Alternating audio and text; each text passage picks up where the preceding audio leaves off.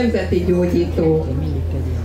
A Hostinvest idején a magyar kórházakat mentette meg, tüntetés sorozatot szervezett, melyben megakadályozta a kórházak kiszervezését olyan módon, hogy ma már nem az a kórház lenne, mint ami még van, de hát ezen még mindig javítani kellene, és ez a jövő, a jövő dolga lesz. Sikeres harcot folytatott ebben az irányban, és megakadályozta az, a kórházak privatizálását. A Heves megyei orvosi kamara elnöke volt, amíg le nem váltották a Covid idején, amikor kiállt az emberekért, kiállt a Hippokrateszi esküje szerint a valóságért, az igazságért, vállalta a megmérettetést, a megfurcolást, és több mint egy évig eltiltották az orvoslástól. Azért, mert embereket mentett meg. Olyan módon, amit az orvosok nagy része nem vállalt. Az orvosoknak nem lett volna szabad beadni ezt a méreginjekciót, amit megtettek. Ugyanis a politikusok nem adhatták volna be. Az asszisztensek nem adhatták volna be. Csak orvosi közreműködéssel lehetett ezt az egészet végrehajtani. Én óriási felelősséget rakok az orvosokra, akik ezt az egész népírtást végrehajtották. A délután folyamán lesz szó az oltáskárosultakról, hogyan lehet segíteni rajtuk. Méghozzá Alfred után lesz Kossu Andrea, és utána dr. Szilák László fog beszélni a messenger RNS vakcina gyermekeinkbe kényszerítése, a köteles, kötelező oltások férjén, úgyhogy maradjanak majd. Kócs Alfred, várjuk, hallgassák őt szeretettel. Előadásának címe Legyenek újra a képák hatalmas az egész világon.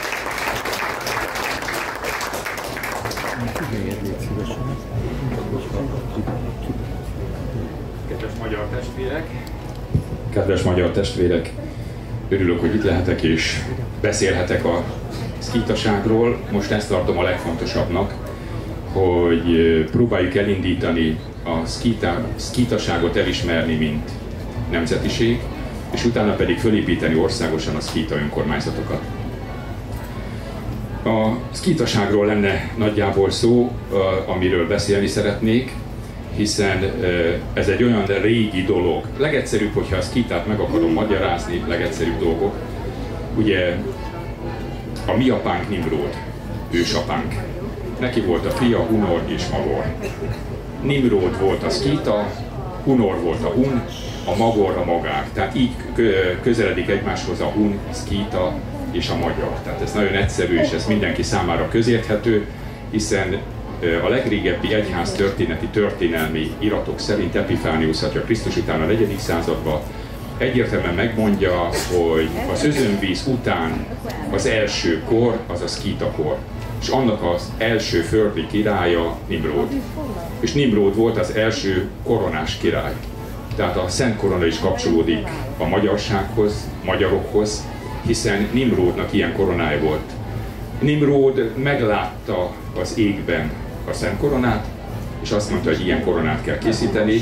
Ő szövetből készítette a koronát, és gyönyörű szép égkövekkel díszítve vették föl. Valószínűleg nem tudjuk pontosan, de ugyanolyan koronás szerkezete volt, keresztpántal, mint a mi szent koronánknak. Tehát ha valaki azt mondja, hogy most kételkedik abban, hogy a mi szent koronánk nem az a szent ami régen a miénk volt, akkor nagyon rosszul tesz, hiszen a legrégebbi 26 ezer éves szungíri kultúrában találnak Moszkvától 100 km, 80 kilométerre de dél felé a régi szkíta területeken egy sírt, amiben eltemetnek egy vezetőt, és ennek a vezetőnek a botján, a jogarján, ami nem a szokásos rövid jogar, hanem 2 méter 20 centi, és kiegyenesített mamutagyar ma se tudjuk milyen technikával egyenesítettek ki, és ebbe van belevésve középen egy nap jelkép, egy kör, középen egy nap és nyolc ággal. Ez van a Szent Koronánkon fönt, ugye elől van a Pantokrátor, a Jézus Krisztus, fölötte pedig a Teremtő Isten, és a Teremtő Istent jelzi egy nap és egy hold földszimbólum, és ez a napszimbólum van 26 ezer éve.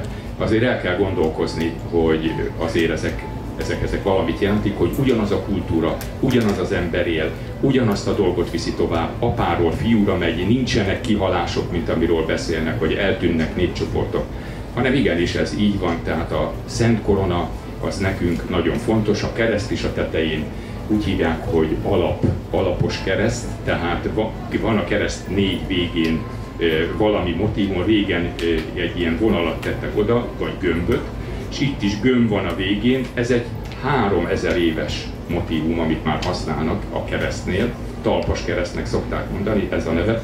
Tehát a mi koronánk az egy nagyon régi korona, és ugye azért fontos ez, mert Nimród az, aki létrehozza az első vallást a Földön, a mágus vallást, ami kozmológikus vallás, tehát ismerték a csillagászatot, mindent ismertek, úgy készítik el a koronát, a korona szerkezete, minden hasonlít ezekhez, ha a csillagászok megfejtik és nézik, akkor kijön ez.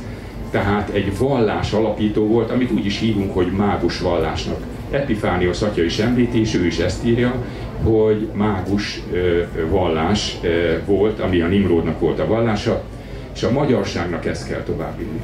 Azért nincs a magyarság név visszavezetve a régi időkben, mert ezt titkosan kell visszavinni. Mert a gonosz lejön a földre, és elkezdi üldözni ezeket az embereket, akik jó dolgokat visznek, és akkor, hogy fönnmaradjanak, kicsit rejtekbe kell menni. A alapok ezzel kapcsolatban, tehát a mágus vallással, Nimród, kusiták, kusok, kusiták, az ő apja volt Kus, tehát a kusita vallásba kezdődik, utána ö, ö, megy tovább ugye a pártusoknál. Pártus vagy magyar az gyakorlatilag ugyanazt jelent, de ezt nem tanítják ma. Itt tudom én, Ausztriában megmaradtak a ö, módi szénekek, amiben hatszor szerepel a magyarságról írnak, és ötször pártusnak írják, és egyszer ungarusnak. Tehát e, találtam millió oklevelet, rengeteg bizonyíték van, Ugye Mária Terézia van, amikor például a jászokról a filiszteust addig filiszteusnak használták őket, akik a bibliai népek ott éltek ugye területen, kitörölteti és nem hagyja használni ezt a szót, ugyanígy töröltetnek mindent. Na most indításnak, hogy, hogy a világon, az lenne a címe az előadásomnak, hogy a világon a szkítáknak kell hatalomra kerülni, mert ez egy hazug világ a hazugságban élünk minnyáján, és mindenki érzi, minden igaz ember, hogy elviselhetetlen ez a hazugság. Nagyon rossz ebben a hazugságban élni, és mi is könnyen válunk hazuggá. Ez csak akkor lehet, ha a szkíta erkölcsök szerint hozzunk létre egy világot. Körülbelül, ha nézem, hogy van 8 milliárd ember, legalább 3,5 millió ember a szkíta tehát Korea, Japán, ezek a területek, Közép-Ázsia, India, Kína területének nagy területen, ezek, hogyha átvennék a hatalmat, és elindul, elkezdene egy új világ szerveződni, akkor jönne az az aranykor, a tiszta világ, ami volt. Ez abból azért is tartom fontosnak, mert ugye Pio atyának van az a jóslata, hogy Magyarország egy olyan kalitka, ami teljesen igaz, majd kalitkába vagyunk, erről fogunk hallani, majd Andra is fog beszélni a mi kalitkánkról, szeretném is, ha kiemelni, de teljesen igaz, amit mondta, hogy egy kalitkában élünk. Tehát gyakorlatilag azt csinálunk, amit megengednek, amelyből egyszer még gyönyörű madár fog kiperül, kirepülni. Hát a madár az egyértelmű nekünk, ugye, hogy a turul madárról van szó, tehát a turul szimbólum, a madár szimbólum, a turul által Nekünk a turul az égiekkel tartja a kapcsolatot, és tartja velünk itt. Például a karácsonykor még nem olyan régen, a 30-as években gyakran szokás volt, hogy madarat rögtettek karácsonykor, hogy az égbe kapcsolatot tudjunk teremteni, a Teremtő Istennel, a Jézus születése kapcsán. És Magyarországon is még 30-as években falu helyeken a gyerekek összefogtak galambokat, már nem turulokat, és azokat engedték ki. Tehát ez, ez egy nagyon régi szokás volt, ami volt sok szenvedés vár még ránk. Hát ez, ez igaz, ezt tapasztaljuk is, ugye ki nem szenvedik közöttünk, tehát nagyon igaz, amit ír, de egész Európában páratlan dicsőségben lesz részünk. Irigylem a magyarokat, mert általuk nagy boldogság állad majd az emberiségre. Tehát szenvednünk kell egy kicsit, Piatya leírja azt is, hogy itt a megoldás, itt lesz a változás. Mondok sok negatív dolgot, de senki ne abba gondolkodjon, hogy most azért mondom, hogy keseredjünk el, adjuk alá, menjünk lejjebb. Nem szabad. Azért kell a tisztállátásért, ha hallunk tiszta dolgokat, a tisztállátásért, hogy a józan parasztésszel el tudjuk dönteni, de azt szeretném mondani, ha lélekben mindenki érezni a változást, mindenki érezni, hogy itt van a változás. Jó? Tehát ez lenne a fontos, és ha itt a változás, ha magunkban rendet tudunk tenni, akkor utána a családunkban, környezetünkben, közösségünkben, és majd az országban is. Lehet, hogy egy picit hosszabb, de ezt is lehet csinálni, de lehet közösségekbe szerveződni. A szkíták az igazságért harcba is mentek, de nem gyilkosságért harcoltak, nem úgy, mint mit tudom én, Nagy Sándor meghódítja Baktriát, és keresztre feszíti az elfoglalt város összes emberét majdnem, vagy a rómaiak keresztre feszítik az elfogolt embert, a görögök a végtagot váltják ki, az asszírok megnyúzzák és a várfalakat beborítják emberbőrrel. Tehát ez a másik fajta gondolkodás. Az Kita nem az virtusból harcol. Tehát ő, ha megtámadtál, na akkor fogjunk, nézzük meg egymással, hogy akkor mi lesz. És a virtusból győzi le.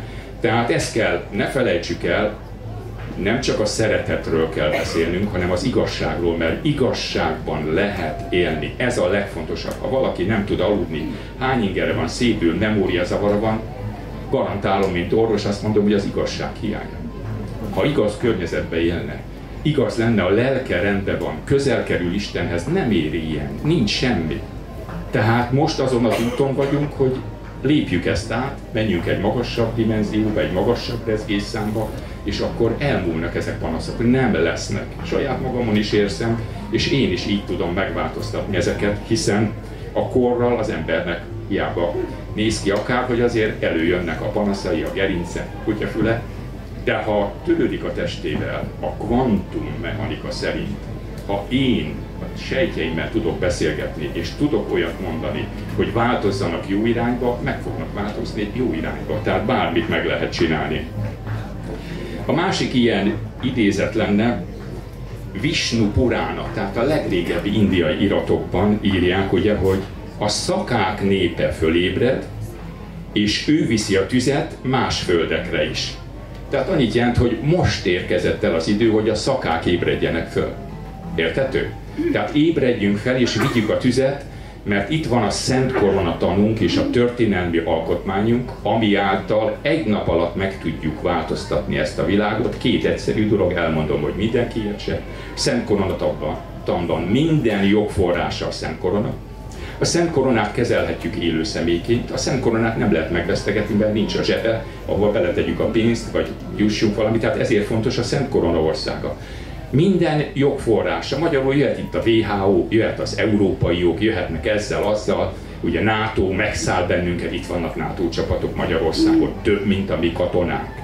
Több van, mint ami magyar katona van. Hogy létezik ez? Megint a 56 jön majd, vagy mi jön?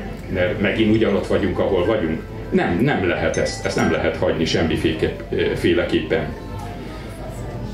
Ö, jó, még olvasok ilyet, hogy sok ezer év óta Isten oltalma alatt állunk, hiszen létezünk most is. Népek tűnnek el, de mi nem tűntünk el. Itt vagyunk, írja a régi írás. Mint a főnix föltámadunk, addig rejtekezünk.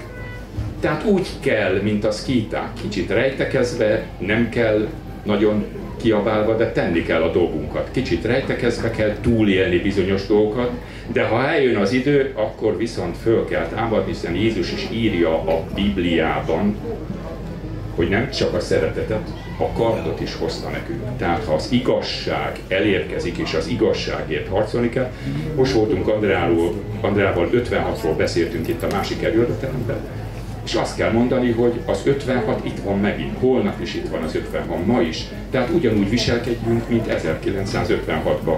Próbáljunk változtatni a dolgainkon. Még egy-két régi történet, ugye, hogy hogy magyarság hogy kerül ki, szkítaság hogy kerül ki a történelembe. Ugye a legrégebbi írott irodalmak, ami ránk vonatkozik, ilyen egy nemzet sincs a Földön.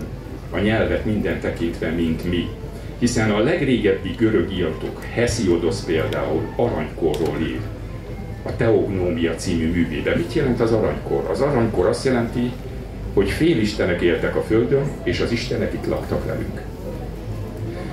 És a, lejön a gonosz, valahogy előkerül a gonosz, nem tudjuk miért, de ha a Teremtő Isten bivalens világot, két arcú világot teremtett, akkor teljesen jogos, hogy benne van a gonosz is, hogy megméretessünk és jó irányba menjünk. Tehát megjelenik a gonosz, elkezdődnek a harcok, fölbuzdítják a titánokat, megtámadják az isteneket, és ki volt a titánok vezére? Ki tudja megmondani, ki volt a titánok vezére a régi írások szerint? Nimrod. Hiszen egy óriás volt ő is, óriás titán, és ő volt a titánok vezére. Összetűznek, ezért az istenek elmennek, föl az égbe, maradunk itt, és utána teremtődik meg az első ember, Ádám és Éva. Ez a történelem lett idő. És miről írnak? Etiópiáról írnak, és Kusz, Kusföldről. Ki Nimród édesapja? Kus. Kusiták itt vannak a történelmi korban? Itt vannak a kusiták a történelmi korban. A bibliai Ószövetség is Kus és Etióp földről ír. Tehát még az Ószövetség által írt is le kellett nekik írni, hogy mit vagyunk az első ember megszületése óta. Hogy hogy kerültek ide, hát maga az is csak egy elgondolkoztató, csak mondok egy példát. Itt van a Sumer birodalom, a kőkorszak két millió évig tartott, és nagyon keveset fejlődött. A Sumer birodalom pár, egy ezer év vagy pár száz év alatt hirtelen minden kultúra, minden megemelkedik. Ez úgy lehet elképzelni, hogy valószínű tényleg volt egy Atlantis, volt egy Mu, és amik elsüllyedtek, és abból az emberek elmenekültek, a kőkorszakot is így kell elképzelni, hogy óriási tudás, óriási minden van, és csak elvesztettünk minden eszközt, mindent, és újra kell mindent csinálnunk. Tehát majd itt lesz Alex barátunk, aki majd koncertet rendez, elő fog venni egy, egy csontsípot, ugye a Szelete barlangban lévő 35-40 ezer éves furúja, amit megtaláltunk, két lukú furúja, amivel le lehet játszani az összes pentaton dallamot magyar pentaton dallam, a, kör, a rokon népek pentaton dallam a világon, le tudja játszani, majd itt lejátsza nekünk, majd érdemes lesz meghallgatni, jöjjön el mindenki, mert ilyet még nem hallott a világon, hogy a kőkorszakban már bármelyik dalt lejátszották, amit van. Tehát ugye a Grover Kranz is, egy amerikai nyelvész is, aki írja, minimum tízezer éves a magyar nyelv, minimum tízezer éves. Tehát a nyelvnek ott kell lenni, ha az írásos emlékek megvannak, az írás mellett már kell beszélni a rendszer. Csak ott van például ugye a tatárlakai amulet. Tatárlakai amuleten 13 jel megvan a, a székely ABC-ből, vagy majdnem 13 jel van rajtam, ebből 8-9 megvan a mai székely ABC-ből. Tehát ezt magyarok írták, itt lévő magyarok. Csodálatos volt a román tudós régész, aki föltárta, mert azonnal mintát vett az anyagból, meg a környéken lévő anyagból, és rájöttek, hogy a, ugyanabból az anyagból van, tehát nem idehozott amulet volt, hanem itt Erdélybe készült amulet, ugyanabból az anyagból van. Tehát nagyon okosan is megcsinálták. Tehát ez is azt mutatja, hogy az írásunk is itt van velünk, akkor beszéltünk is.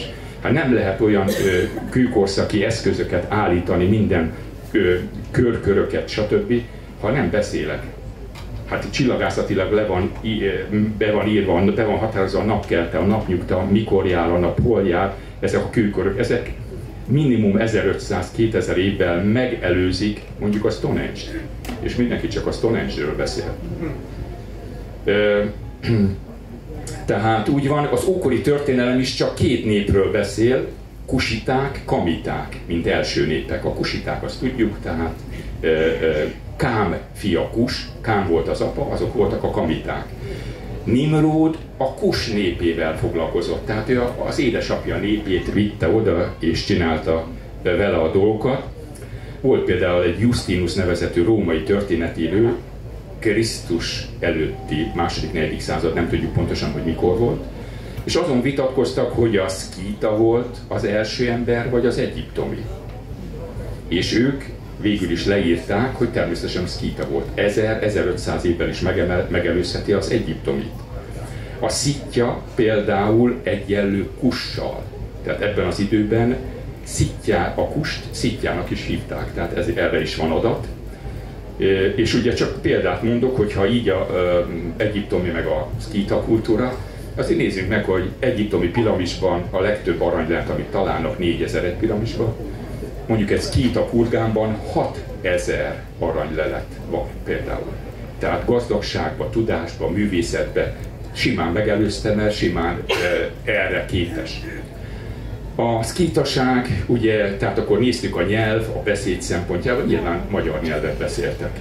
Ugye nagyon sok az, hogy össze-vissza az emberek leírják, hogy egyik népet hogy hívják, másikat hogy hívják, és külön népnek tételezik fel. Ha eltűnik egy nép, akkor eltűnt a nép, pedig nem tűnik el, hanem egy ugyanolyan népcsoportban van. Például egy nagyon régi történészünk, Horváth István, akit nem nagyon ismerünk, pedig ismerni kéne, őnek az volt a feladata, mint levéltári szakember, bejárta Európa összes levéltárát, átolvasta a külföldi iratokat, és abból összegezte a tudását, és mondta, és egy-egy nép akár 10, 20, 30 nevet is viselt. Mit tudom én, csak erre példát, ha mondok, amiket kiírtam, például örmények, szaka, masszagéta, kushun, ugyanaz.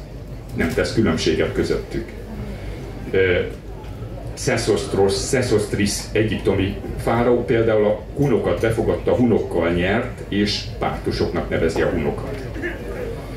Tehát a Elézius, Hun, Kus ugyanaz, örmény nyelven, Szaka, Hun, Masszagéta, Kusita ugyanaz. Tehát ugye a másik nagyon fontos, hogy amikor beszélünk arról, hogy milyen népcsoportok vannak, és akkor kiderül, hogy ha elemezzük a cucorfogarasi szótár szerint, akkor méd, mada például, ez is szín magyar név, a médek is vitték ugye a mágusságot, a kus, méd, pártus, magyarok viszik tovább most is. Tehát ezért nem volt eddig a magyar nevünk, ezért nem volt mindenhol nyilvánosan, de titokban meg volt. Méd, méd mada, hon hazát fogalmát jelenti. Hun, honos, honnal bíró ezt jelenti. Tehát most nem népcsoport, azt jelenti, hogy honnal bíró. Tehát akkor most, most mit különböztetjük meg? Tehát a szkítaság is egységes volt, egységes kultúra, egységes genetika. Most már genetikában bizonyított az R1, R1 ágén, az a szkíta gén. És benne van az R1 ágén a Hunyapi családban. Benne van az ö, ö, ugye Árpádházi királyunk genetikájában, most már ezt a magyarságkutatónak sikerült kimutatni de a magyarság kutató is hova jut, leváltják a teljes vezetést, és megjelent egy cikk, hogy ugye a honfoglalók, egy, eddig még a neparáckék azt mondták, hogy a honfoglalóknak 5%-a jött be, mert a 95% a lakosságnak helybe él, itt él 10 ezer, 20 ezer, 40 ezer, 100 ezer, a szabad kőművességnek a történelemírása 900 ezernél kezdődik, tehát ők valamit tudnak, minimum 1 millió éve itt él az ember ezen a területen, tehát ö, ö, itt éltek a szkíták is. Jó. A nagyon egyszerű, még ha szkítákról beszélünk, akkor olyanokat kell idézni, hogy most megkérdezik, hogy én is kapok támadást, van, aki megtámad, hogy mit akarok én a szkítákkal. Mátyás király. Azért nem akárki volt Mátyás király. Szkítának nevezte magát. Nyilvánosan iratban megvan Ugye Bonfini a történeti íróra, nem is tudom hány ezer oldal, egy kétezer oldal is van az ő könyve, Bonfini könyve, most nem néztem, emlékszek a lapra, hogy mennyi. Minden lapon vagy második lapon a szkítákról beszél. Tehát akkor a szkítaság itt volt. Mátyás király a szkítának a Herkulesi ágát. Herkules szobor volt a Budai várban, Herkules volt a szkíták ősapja a görög kultúra szerint, de a másik kultúra szerint, a régebbi a mi kultúrák szerint Targita osz király. Hargita, Targita, Hargita őrzi a nevét, Targita osznak. Neki a, a fia. Naposz, Pálosz, stb. Tehát ezek, ezek, ezek így követhetők, ahogy megvannak. És akkor most visszatérünk Mezopotámiára, és ugye a Dubar nevű történész, indiai, Indo-ária népek Kárpát-medencéből mentek Indiába ez volt a legősibb harappa kultúra Indiába. Ugye, tehát annyi mindent ilyet találni, ami, ami a Kárpát-medencét teszi meg mindenbe, de mivel ugye a magyarság kutató is le lett cserélve, és most már a legutóbbi cikkben azt jelent meg, hogy a honfoglalóknak 50%-a mancsi. Úgyhogy azért egy kicsit már el kell gondolkozni, hogy politikai nyomásra hova jutunk, megint jön majd a finugorizmus, és megint jön minden, tehát nem szabad, nem szabad, és nem foglalkozunk, nem oktatjuk a szkítákat és Nimrodot. Nimrod apánkat kéne ö, ö, többet foglalkozni velé. Hiszen ha nézünk, hogy van egy Teremtőisten, és van egy Jézus, aki lejön a Teremtőistennek a fia közénk. Ilyenek jöttek már le úgymond avatár formába, tehát a indiai vallás alapító, Buddha, stb. Ilyenek lejöhettek, tehát ilyen, ugyanez volt Nimród is. Nimród azonos Dionyszosszal, Bacchusszal. Tehát ezt tudni kell, hogy a történetben rengeteg írása semmi azonosítja. Nimród apánk, hogy ő is égi születésű, az is bizonyítja, hogy halála után maradt egy 9. századi keresztény krónika, ami azt mondja, hogy az Isten, a Teremtő Isten magához emeli Nimródot, villámdörgések által, és földi testbe viszi föl a mennybe. Ez azért nem semmi. Jézus Krisztus is ugye fénytestbe jutott el, mert meghalt, utána föltámadt, a halotti letelben megvan a lenyomata, tehát fénytesttel ment föl a földbe, tehát nyilván ezt így kell elképzelni. Csak egy példát mondok, tehát a napkirály, akik vannak, tehát ők a Teremtő Istennek a képviselői, például Kus, Kos, Kus, Kámnak a Ámonnál van az egyiptomi kultúrában, ő volt egy ilyen napkirály, akinek a fiának lehet mondani, mondjuk Dionysoszt is lehet mondani, hogy tehát van egy napkirály, akinek megszületik a gyermeke, ide jön a földön, stb. stb. ugyanúgy, ami megvan. És Dionysoszt arról is meg lehet ismerni, hogy Dionysosról írják, hogy párducbőr kacagányt hordott. Párducbőr kacagány annyit jelent, hogy tisztázza, hogy milyen származású, mivel Nimród a párduc, párduc jelentése Nimród, párduc szó, Nimru, ezért Nimródi származású, és a jelenlétét, tehát hogy itt él ma is közöttünk, nekünk ezen kell majd változtatni, hogy Nimródot behozni ide közénk, hogy ma is itt él Nimród, éljen közöttünk, hiszen Dionysosnál írják, hogy Dionysos révén tisztelték Nimródot, például Egyiptomba, Indiába, Arábiába, tehát ezekben a korabeli államokban mindenki Nimródtól szeretett volna származni minden, nagyon sok helyen hazájuk szülöttjének mondják Nimródot, hazájuk szülöttjének, de igazán így kimondani, hogy Nimród az ősapát, ezt a magyarság teszi meg. Nem véletlenül, és minden ősi krónikánkban. Legjobb a Tari Jüngürüsz, azt érdemes elolvasni, abban pontosan, precízen le van írva, hogy Nimród az ősapánk. És ugye mit mondanak Nimrodról tulajdonképpen? Így is lehet mondani, hogy az első emberisten apjával együtt. És mit csinált Nimród, ami kiváltotta ezt, hogy mindenki Nimródhoz szeretne tartozni? Így írják, hogy nemzetek tanítómestere, emberiség jótevője, városokat alapított, országokat alapított. Tudjuk, hogy ő alapítja Baktriát, Balkvárosát, mikor átmennek Arábián keresztül, Babilonba, mikor összeomlik a torony, átmennek és Baktriába létrehozzák, ugye a mágus vallást ott hozza létre, a Zendavesztát ott írja meg még nyelven, és az Avesztát, abból lesz az Zendaveszta, amit Zarathustra felhasznál, az eredeti Aveszta ott van megírva, és ott hozza létre Vatikánt. Az volt ennek a vallásnak a szkíta kereszténységnek a központja, Balkvárosa. Nem véletlenül ugye, hogy most megtalálták például harmadik Béla révén az Árpádházi genetikát, és úgy mondják, hogy vissza lehet vezetni a bronzkorig, 5000 évre, és hova teszik a leg, hogy hol, honnan származik, például Afganisztánból.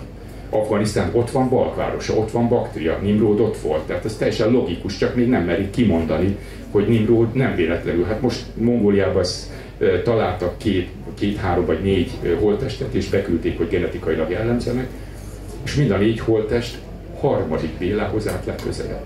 A világ összes genetikai állományát, ami most van összehasonlítva. Tehát azért el kell gondolkoznunk ezeken. És a másik nagyon fontos, földművelést hozta létre, szőlőművelést. Na hát ez a mi dolgunk. A magyarságnak a földművelés, ezért kell harcolni a földön, mindenki, mint Bene Gáborék harcolnak a földért. Mindenkinek mondom, hogy csatlakozzunk, mert nagyon fontosnak tartom a földért a harcot. Az isteni föld, Isten a földet és Debrecenbe eladják az akkumulátorgyárba 250 hektár 5 méter mély földmenséget. Ez halálos bűn, ami vérrel átoztatta földjeinket eladni, és akkumulátorgyárakat létrehozni, ami semmire nem jó Ha háború van, mi az érték? Az élelem, nem az ipari termékek. Tehát ezt kellene csinálnunk. Aki ez ellen véd, az az ördögöt szolgálja, ki kell, hogy mondjam, mert másként nem tudom elfogadni. A szőlőművelés ez meg ugyanaz, az meg csak, hogy Dionysos Bacchus, ugye, akiknek voltak saját avatási szertartásajuk, bor, pinceavatás, minden, ami régen volt, szerették a bort, itták, a jó magyar embernek is kell. Hát az kiít a keresztény alapvallásunknak mi az alapja? Melkizedek, kenyér és bor áldozata. Tehát a magyar embernek a bor, ne sört igyanak, még csak ne is pálinkát, az is finom, lehet a pálinkát is, de bort igyon mindenki, az a legegészségebb. Minden este két deci vörös bort megiszok, csoda dolgok lesznek velem, ha ezt rendszeresen megcsinálom. Vérpótlástól kezdve bármire, amire gondolok, belső szerveinket tudja. Tehát a bor jó, a bor nekünk való. Ezt mondja már ugye Nimród apánk is, nem véletlenül, a szőlő kultúra öt kezdődik az ő nevükkel és egész belső Ázsián, mindenhol, ahol jártam, elmentem, ott is a szőlőkultúra ugyanúgy megvolt. Tehát azok ugyanazok a területek, mindenhol ugyanúgy megvan. És ugye az ősök, akik vannak a, ugye van Irán és Irak. Ha Herodotoszt idézem, akkor, vagy nézem Herodotoszt, akkor teljesen egyszerű, mert ő azt mondja, hogy Fekete-tenger, Kaszpi-tenger fölött csak szkíták vannak kész. Kíták élnek, ott minden szkíták. De ha megnézem egy kicsit közép ott is ugyanide jövök, hogy ott is jönnek a szkíta ősök, hiszen az alapító, ott két terület van, Irak és Irán. Irak a Mezopotámia, Irán a perzsa kultúrának a maradványa, de a perzsák megszállták a méd kultúrát, rávitték, csak a perzsa kultúra, kultúra átvevő, mert ugye Bundahez versek, ami Ajem királyairól szólnak. Az első Ad király volt, Kajomár, akit szintén Nimrodnak neveznek, rengeteg írásban, és ugye mik, mikrohond Ajemi fejedelmeket mikor leírja, már a perzsák úgy kezelik, mintha az ő fejedelmeik lennének, pedig nem, azok még a régi ősöknek a káld, ami ott van, a káld, az a kusnak a megfelelője. Ugye a szkétán is gondolkozni, hogy sokan azt mondják, hogy hát a görög elnevezés, hogy lehet a kénszkéta? Nem görög elnevezés. A kutabeliek, volt ilyen népcsoport a szkíták között a kutabeliek, ami elé előteszem a szigma jelet, hiszen a görög mindig elé teszi az eszet, a szigma jelet, például a kapa szó, magyar szó, és a görögöknél kaposz, tehát előtesz egy eszet az elejére, egy eszet a végére, és így lesz a kapából kaposz. Na most, ha itt nézem, hogy elé teszem, skuta, skita, skita, skuta, ugyanaz, tehát az, hogy egy magánhangzó eltér minden, abból jöhet, tehát a görögök átveszik az elnevezést, nem ők adják, tehát csak ugye a görög írásos emlékek alapján tudjuk ezt mondani. A sumer eredetű a szakaszó is, például a sumerben már vannak írásos nyomai a szakaszónak, és akkor, hogy kusita, szaka, pártus, új kusiták, stb. ez pedig utána megy tovább. Igen. És akkor még beszélnék arról, hogy van egy nagyon régi történetíró, Euhemeros, Krisztus előtt 4. században, aki azt hangsúlyozta, hogy minden mitológiai hősnek van a reális, valóságos, élő ember alapja. Tehát már Krisztus előtt 400-zal kimondják, hogy van. Ha nekünk egy, van egy Nimród mítoszunk, egy Nimród atyánk, ennek kell lenni valóságos megfelelőinek, mondja Euhemeros. Azért is érdemes vele foglalkozni, mert utána azt is mondja, hogyha egy nép, mi magyarság megörököljük Nimrodot, és nem foglalkozunk a történelmünkkel, és hagyjuk, hogy más népek átvegyék a mi történelmünket. Lássuk, szlovákok, románok, hogy átveszik a mi történelmünket, és hagyjuk, ezt mondja Krisztus előtt 400-zal Emi Huemeros. Hát nekünk ne hagyjuk, hagyjuk ezt csinálni, mi, kö, mi következik be? Erkölcsi válság. Hol vagyunk most? Hazug világban, hazugságban, megérdemeljük, mert nem tiszteltük a hőseinket, nem e, hagytuk a történelminket, hogy elvigyék. Tehát olyan szépen kimondja. Ott van például Genghis Khan. Jártam belső Mongóliába, ugye az Kínának az a belső területe, a Ujgúria mellett, és ott már szinte minden házban van házi oltár Csingisznek. Tehát ő egy olyan hős volt a mongol történelemben, hogy Isten fognak belőle csinálni. Már lehet mondani, hogy fél Isten, hogyha mindenhol van. Nálunk melyik háznál van otthon házi oltár, ami Nimród? Úgyhogy szerezzünk be egy kis Nimród szobrot, egy kis Nimród fényképet, és csináljunk Nimródnak egy házi oltárt. Most voltam legutóbb Taron, ahol fölavatták az első szkíta templomot. Igaz, hogy buddhisták csinálták, de a szkíta buddhizmus az teljesen rokon, hiszen Buddha szkíta volt, szkíta nemzetség, Nepálban születik, magar törzsből, amit azon belül is a Buda törzsből, Buda, és így lett Buddha, tehát abba törzsik, utána át Indiába, onnan mennek majd Kínába, Tibetbe, és így jut el tovább a, ez a vallás. Tehát e, e, ezt is figyelembe kell venni így. Tehát, mit is kezdtem mondani, hogy hirtelen kiestem. Na mindegy, tehát az őseinknél igen, akkor még mondanák egyszerűket, hogy például Attila király is szkitának nevezte magát. Hát akkor most kimeri kétségbe vonni, hogy mi használjuk a szkítát, vagy gyűjtünk szkíta aláírásokat, vagy gyűjtünk bármi szkítát, a Mátyás királyunk is, és Attila király is szkítának. Mert a szkítai erkölcsiséget lehet áthozni.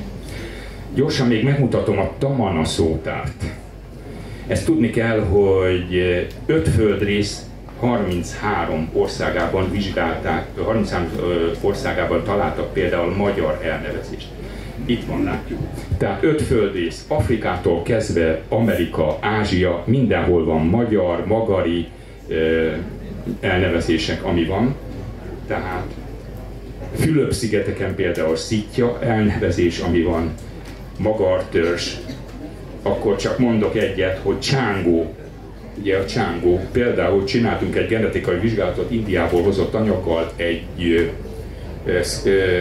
Hun nevezett falu, még régen egy generációval ezelőtt a falu minden lakója hozzátette, hogy Hun, Bene Gábor, Hun, stb. Tehát így pontosan öltették.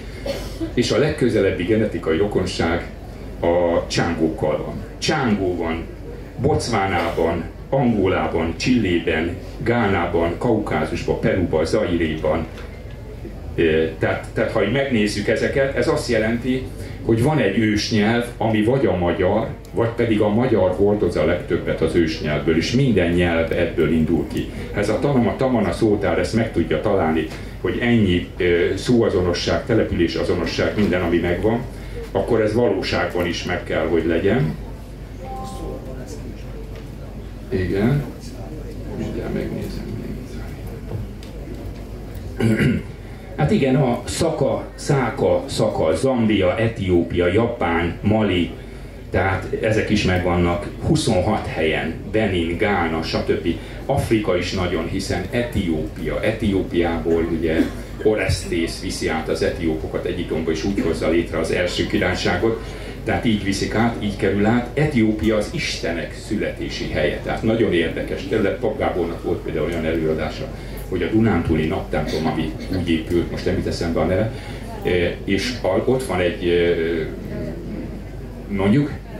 mondjuk, velemér így van, és ott van egy ilyen utolsó ítéleti jelenet, ahol ördögök, poklok, minden van, és ugyanegy van, ugyanegy, e, ugyanilyen falfreskót látott, mikor járt Etiópiába, a dobolást is szeretem fitig elmondani, tehát doboljunk, használjuk a dobot, az nem, dolog, nem olyan dolog, amit nem szabad lenne, hiszen Törökországban van egy olyan 8. századi templom, ahol a három királyokat dobbal, süveggel, ilyen süveggel ruhába ábrázolják tátos dobokkal, tehát azok voltak is a etióp összes keresztény templomban, ami a legősibb szertartást viszi még továbbra is, legalább 30-40 dobbal is minden ünnepre más dobot használ, a pap is használja a dobot, hiszen egy rezgés, közelebb lehet kerülni vele Istenhez, közelebb lehet áttenni dolgokat. Tehát ezeket is megnézve, és akkor összegezve ezeket, tehát most már így nagyjából elmondtam, amit akartam a, a szkítasággal kapcsolatban. Igen. Ezért gondolom, hogy akkor támogassuk ezt aláírással, fogadtassuk el ugye a Nemzeti Választási Bizottság 19 nulla rányba elfogadta, tehát ellenszavazat nélkül ezt a kezdeményezést, amit beadtam a szkitasággal, tehát az állam sincs ellene. Hozza létre ugye a vármegyéket, kezdi el bevezetni, de azért az alispán kihagyja, az alispán kell, az a kulcsa mindennek, hiszen bármelyik Habsburg császár bármilyen rendeletet hozott, ha az alispán nem írta alá, nem volt érvényes 400 év osztrák megszállás alatt, így maradt életben Magyarország. Ezért kell visszahozni a Szent Koronatant és a ö, történeti alkotmányt, mert ha 400 évig osztrákoktól meg tudtuk menteni magunkat, 400 ö, évre meg tudjuk menteni magunkat majd itt a világ Bill Gates-től, meg ilyen emberektől is, akik a világban vannak. Jó? Tehát, csak ez a megoldás, hiszen minden, ahogy mondtam, minden jogforrása, tehát bármilyen jogot eltörülhetünk, ami nem tetszik nekünk, és minden anyagi jó forrása a Szent Korona. Tehát ha holnap azt mondom, hogy Mészáros Lőrinctől visszaveszem az összes elvitorlolt vagyonát, vagy bármelyik politikustól, vagy bárkitől, vagy külföldiektől, vagy például, hogy Magyarországon a föld, az nagyon fontos kérdés, hogy minden gyár, aki megkapja, engedélyt kap az építéshez, megkapja ingyen a földterületet. Izraelben, aki a Szent Korona szerint él, mondhatjuk, hiszen egy millimétert nem lehet megvenni a földből senkinek magának, mert az állami tulajdonítók tudják, hogy ezt hogy kell csinálni. Ezt kell megcsinálni nekünk is. Tehát nagyon fontos lenne, hogy maradjunk így. Jó?